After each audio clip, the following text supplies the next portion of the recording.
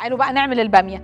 البامية عشان نعملها الأول نخزنها بنجيبها بنشيل الطرف اللي فوق اللي هو اسمه تقميع البامية يعني.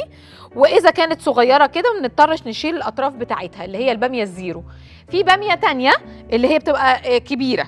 آه، دي بنشيل الأطراف بتاعتها لأنها بتبقى آه، فيها زي شوك فما بيبقاش طعمه حلو خالص. okay؟ وبعد كده بنزلها في مية آه، فيها ملح وفيها عصير ليمون غلوة وبعدين أطلعها على مية فيها تلج وبعدين أصفي منها المية خالص وبعدين برضو بشيل الكمية بكميتها حسب الأكلة بتاعتي. المقادير. إذا عايزين لحمة لحمة مش عايزين لحمة أوكي. عندي بامية آه، طماطم مبشورة من غير القشر بتاعها آه، بصل مفروم ناعم صلصة توم آه، شرايح كزبرة آه، خضرة مفرومة زيت نباتي آه، عصير ليمون آه، أساسي جدا عصير الليمون مع البامية مش بس عشان الطعم عشان التمغيطة كمان. ملح وفلفل معلقة سكر إذا حبيتوا آه، لحمة وعندي فلفل رومي آه، وفلفل حامي سواء أحمر أو أخضر وهقول لكم إزاي دلوقتي نستخدمهم. طيب عندي حلة هنا سخنة. هحط معلقة زيت. طبعا اللي بيحب يطبخ بالزبدة يحط الزبدة اللي بيحب يطبخ بالسمنة يحط سمنة. أنا بفضل دايما زيت الذرة آه، عشان زيت عباد الشمس بحس إنه له طعم قوي شوية هحط اللحمة. له استخداماته طبعا. ملح وفلفل.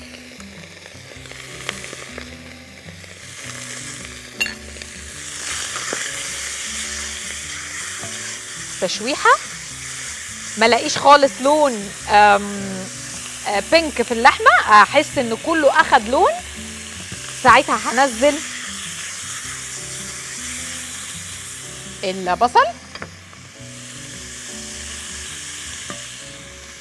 هاخده تشويحة.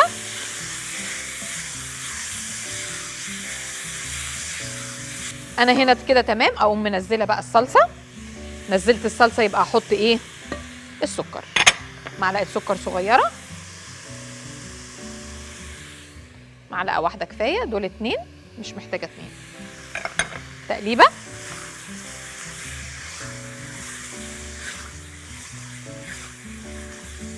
كرملت شميت ريحتها قبل ما تتحرق أقوم منزلة. الطماطم المبشورة بشرتها من غير القشرة بتاعتها. إزاي؟ بنقسم الطماطماية بالطول وبعدين آه، أبشر أبشر هلاقي في الآخر القشرة آه، في إيدي. أسهل طريقة يعني. أهو. عايزين تقشروها وتحطوها في الكبة أوكي بس تعملوها بالس عشان أنا عايزاها خشنة شوية. تمام. هاخد غلوة الأول بال- بالطماطم كده من غير مية. وبعدين هاخد غلوة بالمية وبعدين هكمل بقية الوصفة. طيب بقية الوصفة فيها ثلاث مكونات مهمين جدا في البامية. أول حاجة عصير الليمون ويبقى كتير لأن هي بتحب الليمون طعمها بيبقى حلو وعشان آه، ما تمغطش معانا. تاني حاجة التوم أساسي في البامية. أساسي بيدي طعم هايل. وتاني هنقول بنحط التوم آه، صحيح ونشيله عشان ما ناكلوش إذا حد بيتعب منه.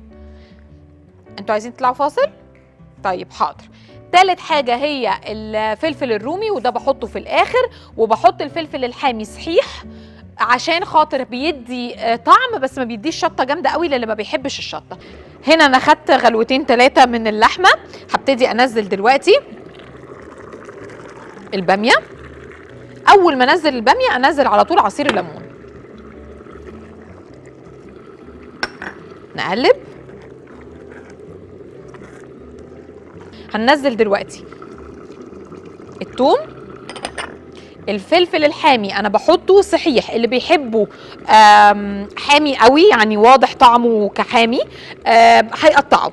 اللي ما بيحبوش أنا ما بحبش أي حاجة حامية خالص لكن لما بيتحط صحيح كده بيدي طعم الحامي مش إنه حامي فبيفرق كتير. بعد كده هاخد الفلفل الرومي. أنا بحب أقطع الواحدة أربعة. بتدي طعم حلو جدا للبامية. جربوها هتفرق كتير قوي في طعمها. هي بتبقى حاجات بسيطة وصغيرة في في الوصفة بس بتفرق في طعمها حقيقي اللي هو إيه أنا أكلت بامية عند حد بس طعمها مختلف خالص عن أي بامية تانية. هو دي. أهو. تقليبة. دلوقتي بقى أنا هزود ملح وفلفل بتوع البامية لأن كنت حاطة على قد الايه اللحمة. فأحط ملح وأحط فلفل. وشكرا. هنقلها هنا على نار أهدى وهسيبها تكمل سواها.